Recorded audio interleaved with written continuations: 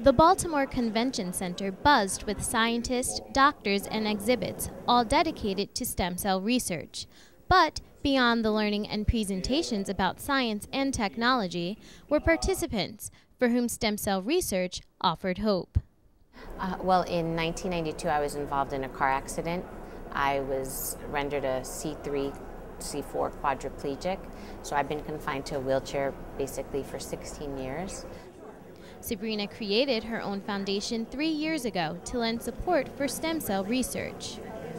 As an advocate, it's very important for me to share that message of hope and then also potentially for treatment, you know, down the road um, for chronic spinal cord injury. Uh, stem cell research promises to be um, lead to possible treatment for many cures uh, for diseases and disorders. Uh, one of the promises is in the area of regenerative medicine and on cell-based therapies. While there is no treatment for spinal cord injuries, Sabrina is hopeful that all this research will lead to something beneficial. Sabrina says there have been stem cell advancements in other diseases, so for now, she waits patiently for a breakthrough that might help her. In Baltimore, I'm India Diaz, CNS TV.